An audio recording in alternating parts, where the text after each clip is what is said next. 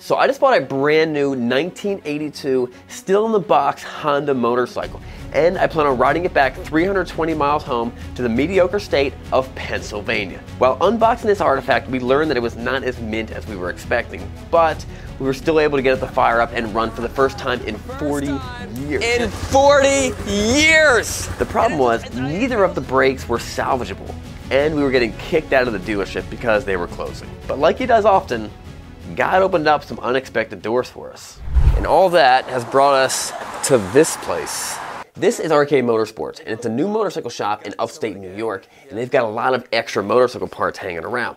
It's possible that you recognize RK Motorsports. I'll explain more about how you might recognize them a little bit later. Hopefully they can help us get the Ascot to stop. But even if we can get the brakes to work, we're still not out of the woods yet. We still have to confirm that the transmission works after sitting for the past 40 years. Craig has no idea that we got something very special for him in the trailer. I did tell him to bring his riding stuff. So I'm not allowed to see what's in the in the trailer, which would explain why it was locked and zip tied shut this morning when I tried to put stuff in it. Ah. Who's hiding him there? I don't know.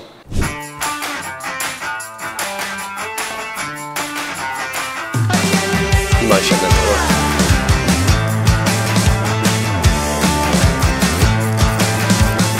We're gonna pull this master off. We're gonna put that master on, and then hopefully we can just bleed it out, and uh, we'll have brakes. It's gonna be tricky.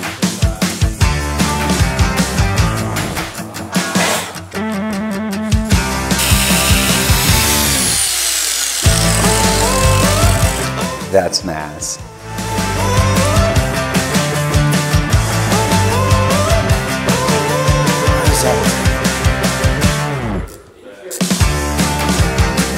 Let's bleed these brakes. Let's do it. It's not doing anything. Monkeys. Maybe there's monkeys in the truck. Do, do the handlebars turn? We don't need to turn. No. Look, either you want to stop or you want to turn. Now, you can't have both. All right, uh, we'll, we'll stop.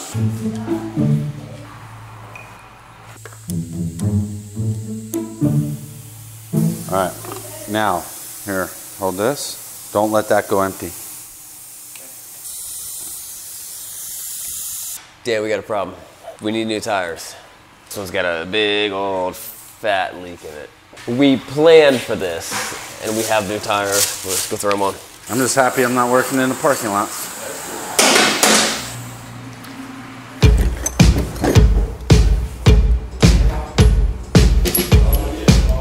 Yep, might as well.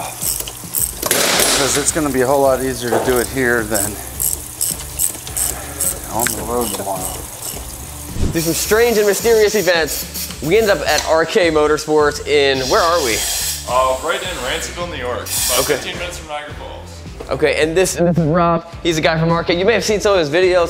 Some of his videos have blown up of him um, doing restorations and taking wrecked bikes and making them look awesome.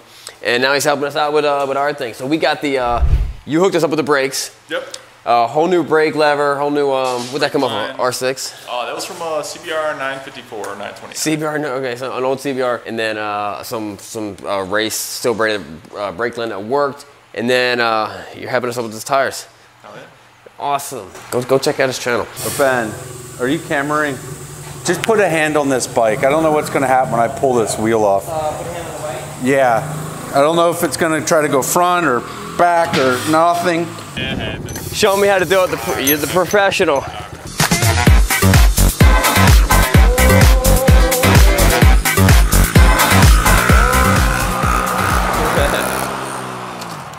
Damn, we need to come up with a project where we just get to mess around and, and let Sean work.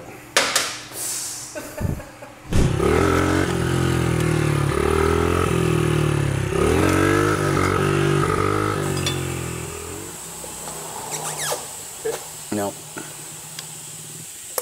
There we go. Now I'm good.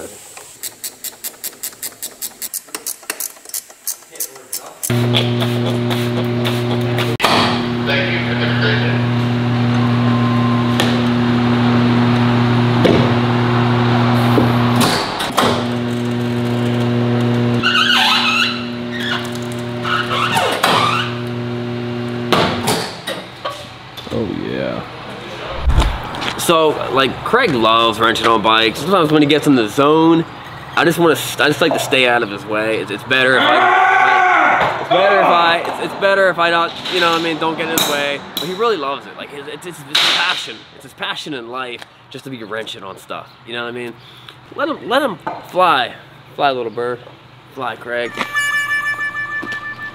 And I, have never seen a regular ascot, but this is the FT ascot, so there's differences. And we think one of the differences is this little, uh, this little brake rotor cover that's gonna scrape off the dirt that gets on the brake when you're dirt tracking, getting sideways, doing awesome stuff. Does this only have one, uh, one disc on the front because it's a flat track?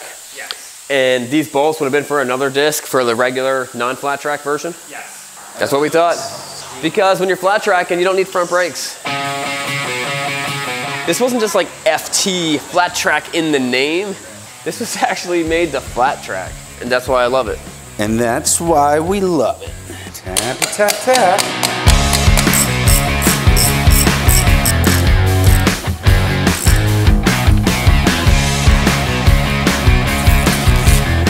I always say I'll never be a Formula One mechanic, but I can get you out of the woods.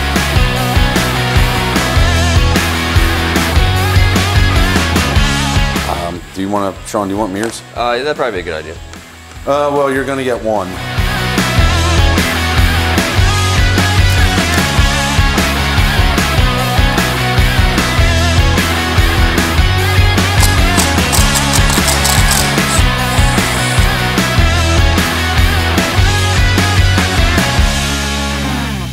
These go in here. Do they? No, manuals. Manuals. To fit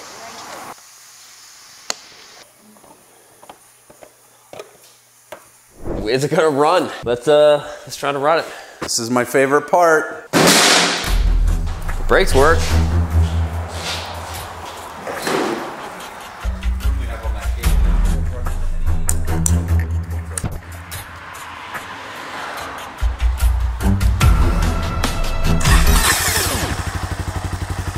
It just fires right up, man.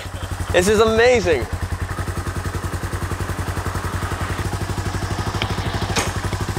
It goes into gear. That's brand new. What is that? Oh, hey, gas on? Oh, Craig turned the gas off. He's trying to sabotage me, Craig. That's because it leaks. Dude, that looks so good. It's pretty cool looking, isn't it?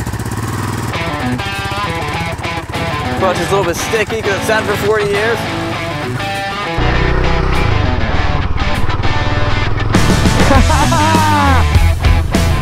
it's a little, it needs a, it needs like a couple miles, but it's feeling great.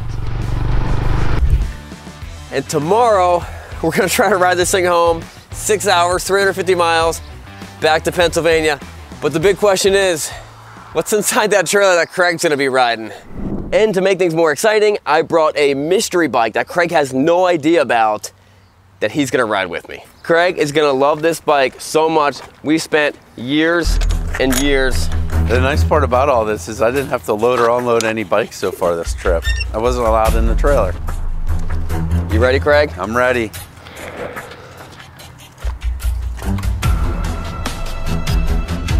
Where's the bike? Dan. You asking me? Did you forget it? Dan. What? Where's the bike? No, no, we're not. We're actually, it's over there. it's behind that F-150. Oh my gosh. Craig, you're gonna be so pumped. I am pumped. I- I'm You're gonna be all pumped. like, this is the best. And you know the bike can at least make it from the van to the F-150. Oh, you rode it? You didn't push it? No, we pushed it. Coolest motorcycle you've ever seen, ever.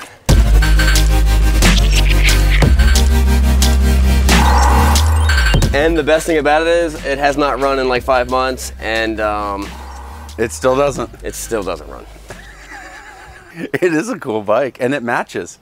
It does. That's why we brought it. Yeah, absolutely. Even though this is a 2000, they they designed this bike. This bike came out in like 1986 or 1984, and probably the same guy that designed this designed that other 80s bike. There's the master cylinder we need. Oh, maybe. It's the same color. It's same awesome. It's it's pure 80s. Oh, well, that was on. Does it not run? The the battery's dead. Oh. I'm excited. But last time we tried to run it, didn't run though. I've been waiting for, I've been, I've been bugging Craig to get that thing running. and this is how I'm gonna do it. Now he's gotta get it, now he's gotta get it. He's been too busy working on other projects. Now he's gotta get it running because he's gotta drive it. Oh. Is- well, it was plugged into a tender. I put a tender and stuff Oh on it. yeah, I unplugged that. Not trying to make your life too easy, Craig. Apparently. And good news, the jump box is dead. no, I'm kidding. Because you're a scooter man now. Apparently. Oh, right there's the battery. Easy peasy. We got you your patch. Oh, nice.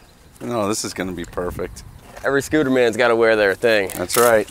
Scooter men and garbage men. Sorry, trash collection specialists. Oh, man, shouldn't have had the onion rings last night.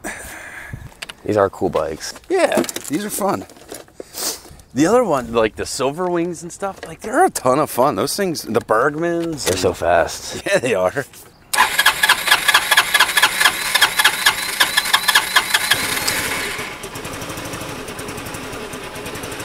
Hey! Purrs like a kitten. Absolutely.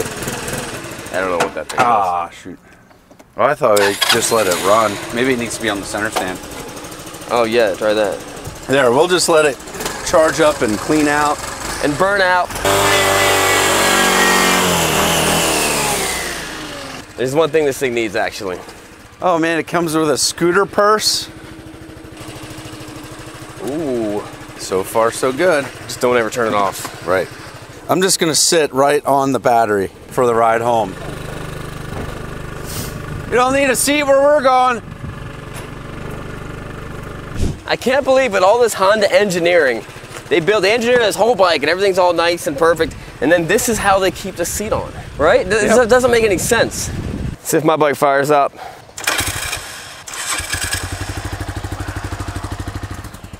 All right, so me and Craig have our awesome 80s bikes. We gotta do our journey. The first thing we gotta do is go get some gas at the gas station. Let's suit up, Craig. Let's do it.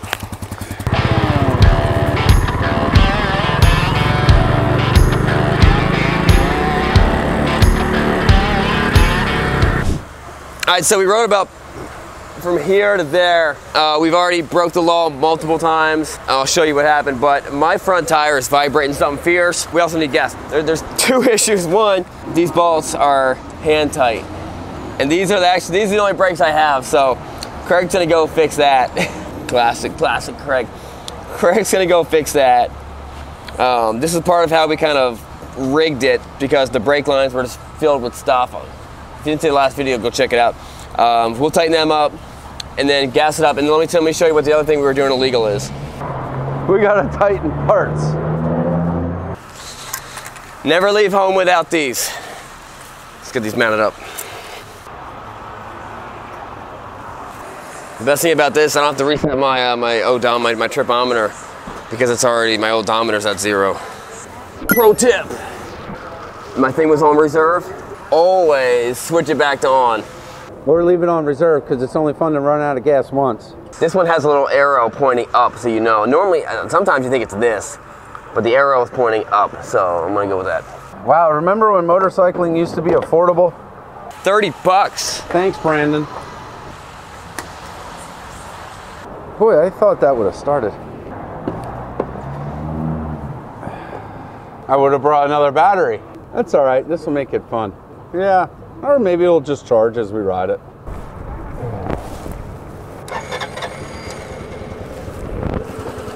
Put the seat screw in my pocket so I don't have to keep dealing with it. I doubt the seat's gonna come off with me sitting on it, so. As Dan the cameraman would say, it's fine. It's fine. It is fine though, Craig. It's like a new thing in our house at home. I'll be like, did you just Dan me? When Stacey's like, oh, it's fine.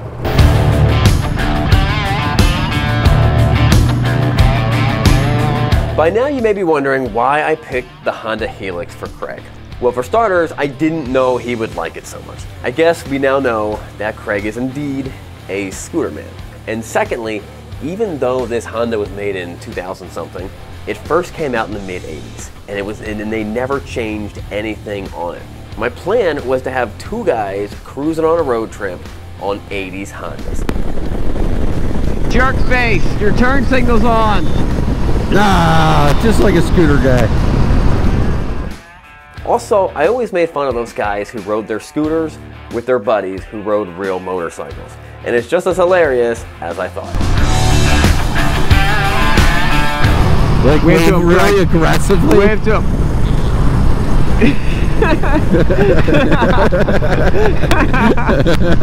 There's something that you learn when you're riding is how to do the cool wave where you just throw your fingers out and the other guy it's I set it up something like that and then I'm like and we perfected it and then me and Craig be like hey what's up guys Guys, I'm super excited about the big live session we've got going on this Monday at 6 o'clock Eastern Standard Time. We got some big, huge announcements and a lot of awesome, ginormous giveaways, some of them that have two wheels. And we're having a great time on the super secret text group. I've already given away two GoPros to random texters. And over this weekend, I'll be giving two more away. To join, just text ASCOT to 717-670-8555. That's ASCOT to 717-670-8555. To join the group and get notifications, updates, and ask questions.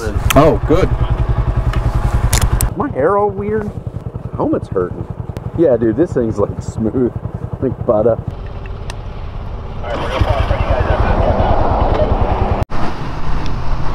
Wow look at these clouds this is big sky country Craig Yes, it is.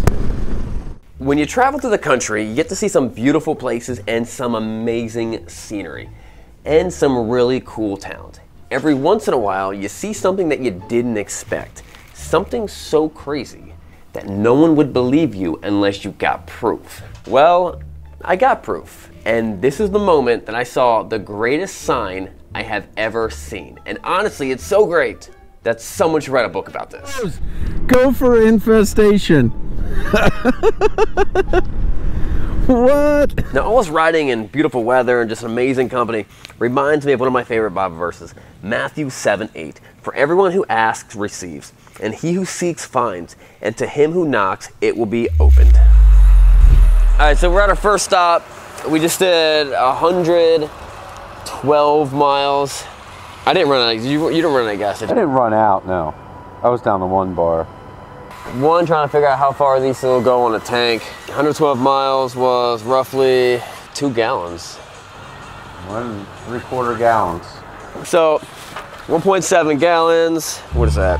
112 times 1.7. 65 miles to the gallon. It's not bad. Not bad for the first 112 miles of the bike. On the lower speeds, you really feel the thing bump up and down because this is actually, their air belongs in here. See, some of these older bikes actually had, um, look, it's got a Schrader valve right up here. It's got a Schrader valve, and you actually put air in the shocks to a certain psi, and we didn't, we weren't able, we forgot to do that. So at the, it kind of bottoms out. Like at the lower speed, just kind of feel like like flopping around. But other than that, the bike's feeling good. I think it's safe to say, nothing is gonna go wrong on this trip. Nothing at all. Look what I got. I've never seen this ever. Mint chip chocolate milk, mint chip milk, Froot Loop flavored cereal milk. I had this idea a long time ago. It's a great idea. It is. It's genius. It was completely awful. Let's keep on rolling.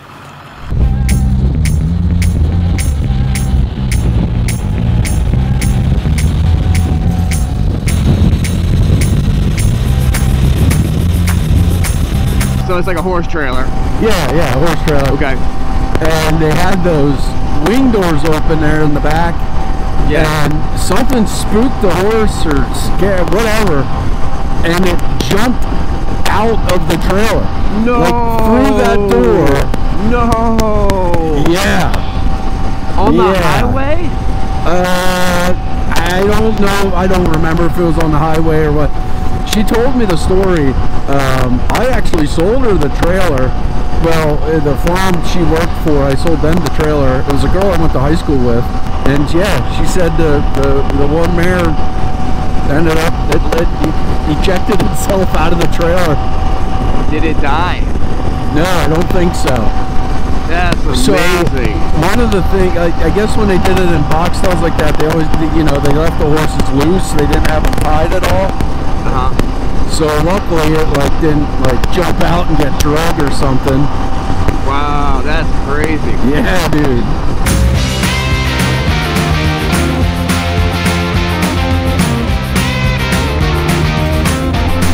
We had a friend that their uh, their daughter had a horse or a pony or some large animal like that.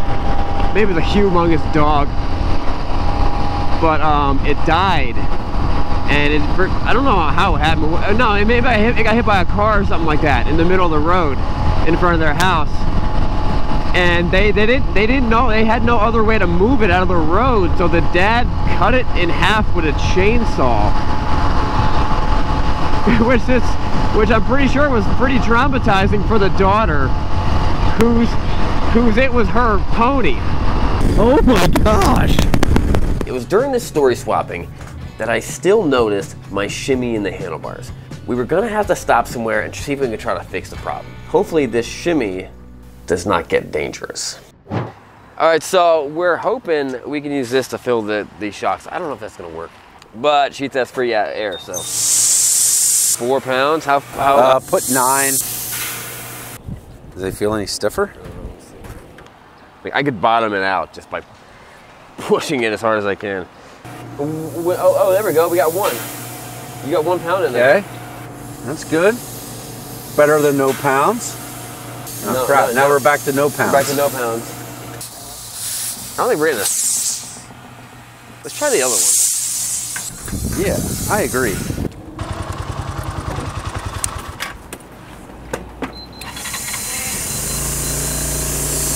All right, it's saying three pounds. No. Look, look, see, see, it goes up. Yeah, but it, it- like that, that's what shows what's in there. So we, we know what's Oh, the- there's three. Hold it.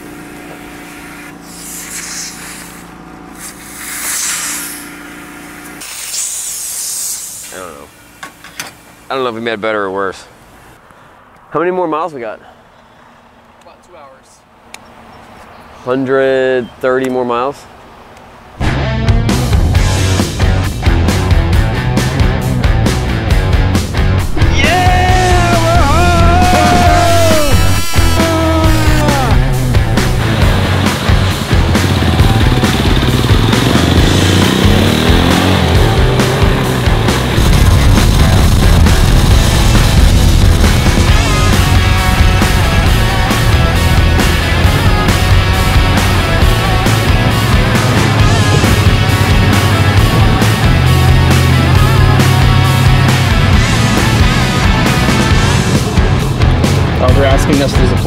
Eat here. All right, so we're about to get on the road. We just got some food. Let's just uh, let's just do a quick little inspection on this bike to make sure all the things we modified and are still good. Like like the brake calipers, they still The taped on master uh, cylinder reservoir. taped on master cylinder. It looks it's holding pretty good. Yeah. Okay. None of this has fallen off yet. This is still good and tight. Axle, pinch bolts, turn signals. Yeah, nothing's leaking on this side. It's just that side. Getting a little bit of gunk in the inline fuel filter. Are we? You see I this? want to see it. That's a good sign. I like that. See on the very top. Petcock stopped leaking. That's good. Yeah, this stopped leaking. That's good. Grab that rear axle bolt. Just make sure that's As we rode the last leg on our trip home, I realized that this video needs some 80s music right now.